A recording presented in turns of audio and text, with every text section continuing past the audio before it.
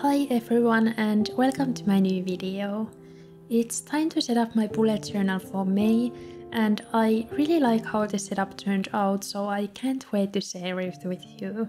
I feel like a bit of a broken record for saying this, but I again struggled to come up with this theme and that's why this video is coming later than usual as well because I really enjoyed drawing dogs last month. I wanted to do some kind of animal theme for May as well, and I decided to draw capybaras as they have been all over my For You page on TikTok. I've never seen them in real life as we don't have capybaras here in Finland, and if I didn't use TikTok, I probably still wouldn't know that these cute animals exist. Anyway, I know many of you enjoyed seeing the sketching process in my last video and I would have wanted to include that in this video as well, but because I'm making this setup really late, I had to skip it this time to save some time. I can probably make a YouTube short on how I sketch them later if you are interested, so maybe leave a pen emoji in the comments if you would like to see that. I went for this more loose and sketchy line art so I would achieve this more kind of hairy look for this capybara. One thing I struggled with was the face of the capybara because it can easily start to look like a bear or something if you draw it wrong. I think they have a really unique head shape which looks a bit like a square and the distance between the nose and mouth is quite long. Capybaras are actually the biggest rodents on Earth and they look a bit like gigantic guinea pigs, um, which kind of makes sense because they are closely related to guinea pigs, which I didn't know but I just googled it. From what I read, they mainly live in South America and are strong swimmers like beavers, for example. Besides this capybara, I also wanted to draw some flowers on this cover page to give it more of a spring touch. I don't know what these flowers are because I just made them up and I think I maybe should have added a bit of line shading in them so they would have had more dimension. I tried to make the flowers look organic by drawing the petals very loosely with some wavy lines and I also added some leaves to fill up the empty spaces around the flowers. After the line art was done, I erased all the pencil marks so they wouldn't peek through the colors and for coloring I decided to use colored pencils once again because they just look a little bit better in this kind of illustration in my opinion as markers would have looked a lot more streaky. I decided to go for more of a smooth finish instead of drawing the individual hairs for the fur because that would have taken too much time and when I tried that in one of my sketches it ended up looking a bit too busy. First I tried to color the whole capybara with an even layer of light brown and then I went over some areas with more pressure to add shadows. Coloring with colored pencils obviously takes a bit more time compared to markers, but I love using them because it's easier to control how dark the colors end up looking and I also like that I can erase them if I end up making a mistake, which luckily didn't happen this time. Capybaras usually have a bit darker nose and mouth area along with little feet and ears, so I left those areas empty and went over them with a darker brown that was slightly more cool toned. I started off with a really light pressure with the face and darkened up some areas, but for the ears and feet I used more pressure because they are darker compared to the face. Now looking back, I probably could have added line shading in some parts of the capybara as well, but I was scared of ruining it, so I decided not to do that. I think it ended up looking cute still and maybe I will try the line shading later if I end up drawing this again. Anyway, I think it's really important to work with light layers and build up the color slowly when coloring with colored pencils because if you color the first layer with a lot of pressure, it's very difficult to add color on top of that. That's why you see me darkening up some areas many times and I used a bit darker light brown for the lower parts of the capybara's body, for example. I also ended up darkening the dark brown areas more, but cut that part out of the video because it would have been really long otherwise. For the flowers, I decided to go for a color which I don't usually use, but I think brown and blue go really well together, so that's why I decided to use blue this time. I mean, I could have also used pink or light grey, but I feel like that would have been a bit boring and lately I just have been needing a bit more colors in my life. I think I'm going through a bit of a change in my art style and that's also why I have been struggling creatively a bit. Speaking about that, I almost decided not to post a plan with me video this month because I just have been feeling quite burned out creatively and had zero theme ideas or inspiration. I often struggle with creating my themes and want to be honest about that because I think a lot of us go through that. Making art isn't always easy and coming up with new ideas every month is definitely challenging. I also feel some pressure sometimes because I create art online and of course do care what others think and what the social media algorithms think. it can be very difficult to find the balance between doing art for yourself and doing art for others, if that makes sense. Anyway, I really appreciate you always being so kind and supportive towards my art and for watching these videos. I know the pressure isn't coming from you as it's created in my own head and I guess it's part of being an artist as well. Now back to my cover page. I colored the leaves with the same light green color that I used in April as well and I think this is the perfect green shade as it's very summery and perfect for springtime as well. I again used a very light hand and added darker line in the middle of the leaves for more dimension. For the finishing touches I decided to add a bit of a light grey grid on the background and I don't know where I got this idea, but I really love how it turned out. I think it just filled up the empty spaces nicely without taking too much attention away from the illustration. Overall, I really like how this cover page turned out and I'm glad I decided to try out something a little bit different with the colors and just have fun with drawing goofy capybaras for this theme. On the page on the left I decided to try out something a little bit different that I've never done before and I again have no idea where I got this idea. anyway, I made a little pocket from this craft paper by folding the sides and the bottom part of the paper and I also cut out the overlapping corners so this pocket wouldn't make my journal too chunky.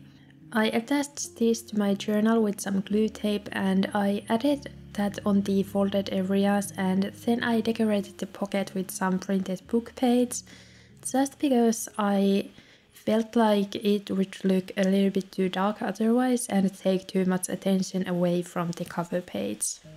Basically, the idea of this pocket is that I will add some positive affirmations in there so I can read them whenever I feel down or have some negative thoughts like self-doubt or things like that.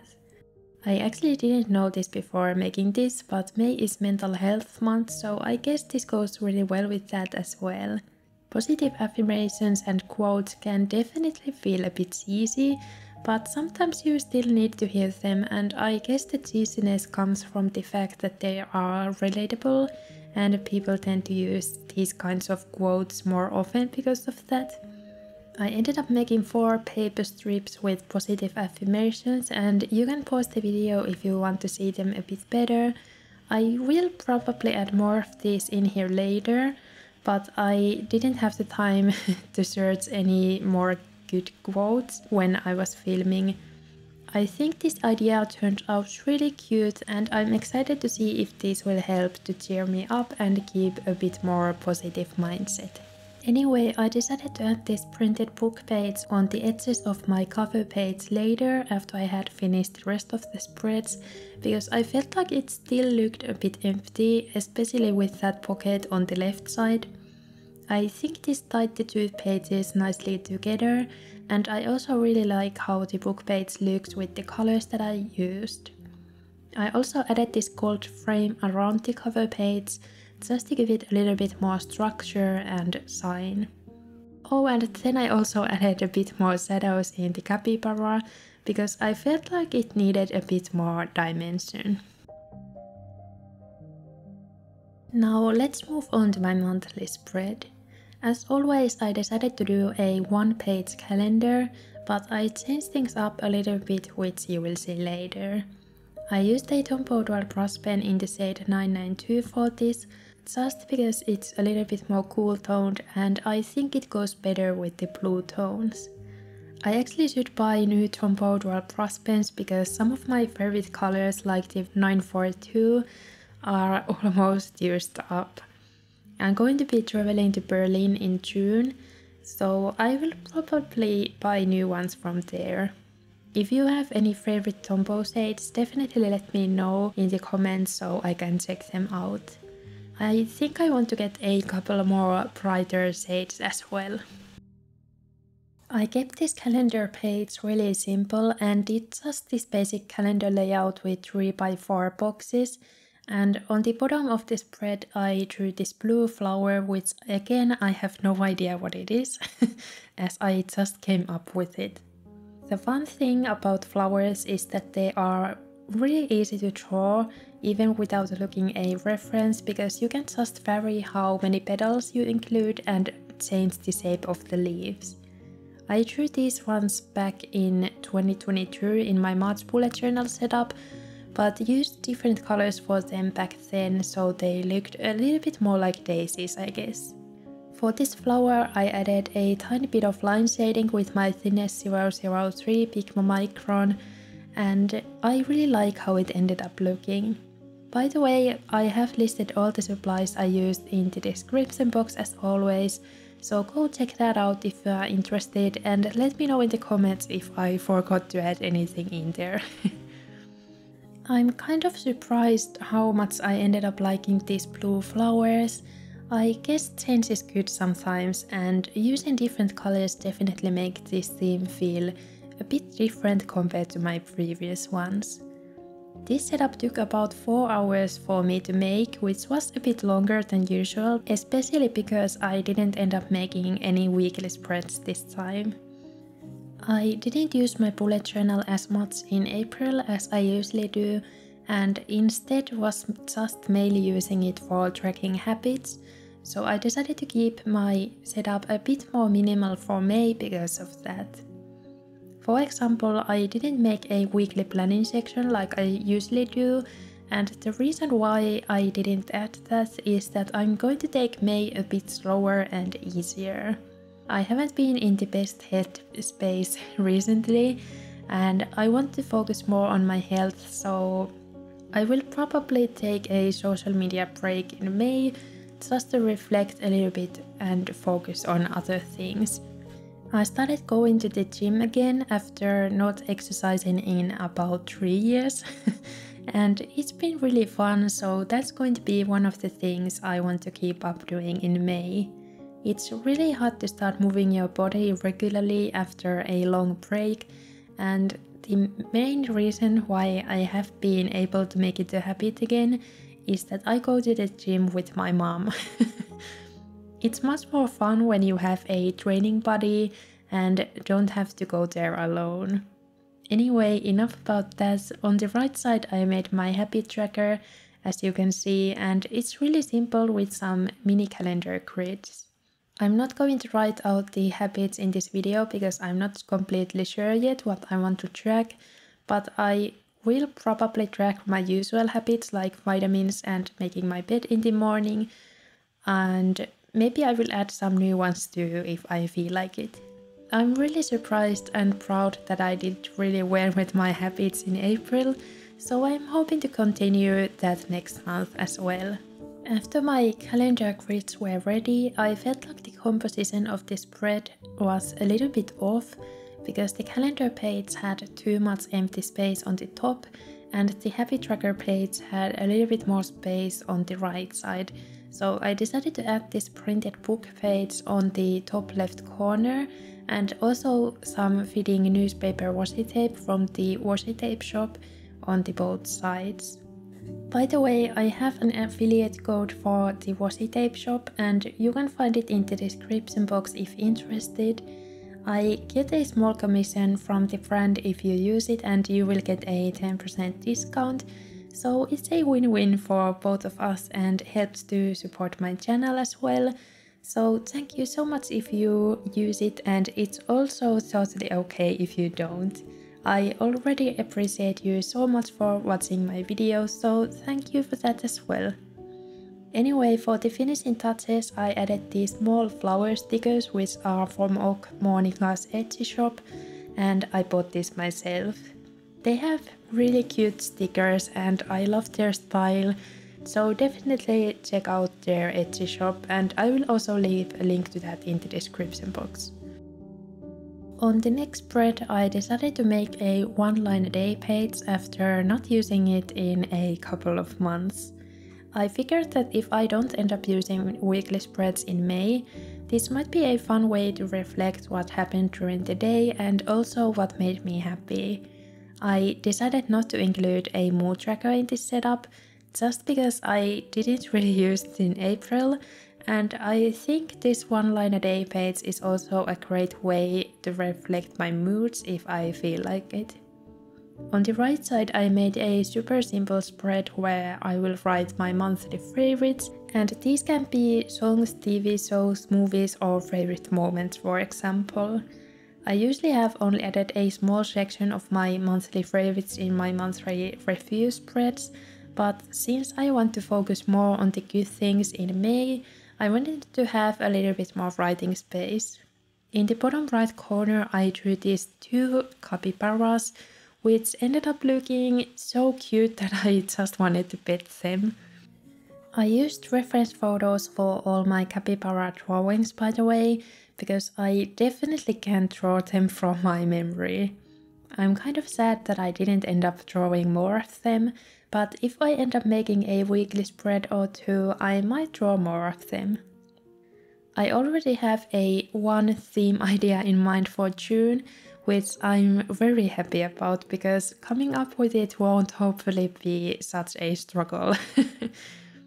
anyway, I'm excited to see how this setup will end up working for me and if I end up missing some things like my mood tracker or weekly planning section. I think it's really important to notice what's working for you and not to create spreads just because you feel like you have to. I mean, there's nothing wrong creating a pretty spread and not using it because that happens all the time. But if you keep repeating those spreads just because you feel like other people are making them and you have to as well, even though they might not work for you, it can start to feel a bit pointless, I guess. For me, the enjoyment of using my bullet journal comes when my spreads are easy to use and work well for me, so that's also why I decided to change things up a little bit this month. I would love to hear what are your favorite spreads to use in your bullet journal, so definitely let me know. It's always interesting to hear how many different ways there are to bullet journal and also see how differently it can be done. Also seeing how much your own style of journaling can change over time is really fun. I was first thinking of doing just a scrapbooking theme this month because I've never done that and it might have taken a little bit of the pressure off. But I'm really glad I decided to draw instead because I really love how this theme turned out and looking at it makes me really happy. Like, how can you not feel happy when you look at these little guys? I'm so excited that spring is finally here and I can't wait for summer to come. I saw flowers on my walk the other day and totally didn't expect to see them because we still have a little bit of snow. Later on that walk I almost stepped on a butterfly because I didn't see it at first and I was really surprised on seeing that as well. Seeing these kinds of little signs of spring and summer is so refreshing after such a long winter. The best thing about spring is the amount of daylight and it's crazy how much that can affect your mood and energy levels. Summer has always been my favorite season like it probably is for most Finns. Um, yeah, winter is nice too but it just lasts a really long time.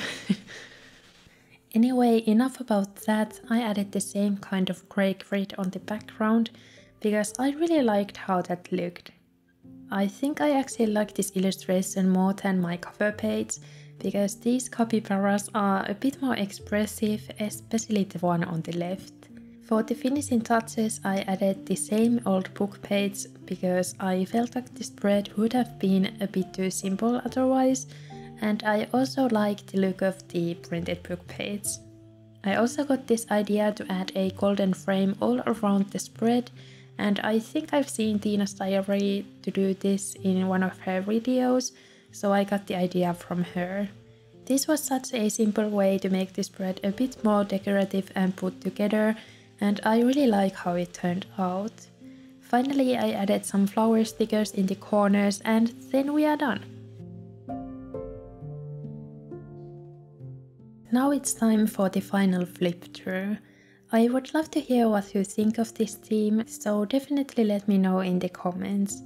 I really enjoyed making this one and I can't wait to start using these spreads. Make sure to leave a like and a brown heart emoji in the comments if you enjoyed this video and I hope to see you in my next one. Thank you so much for watching and bye bye! capibara, capibara, capibara, capibara, capibara, capibara.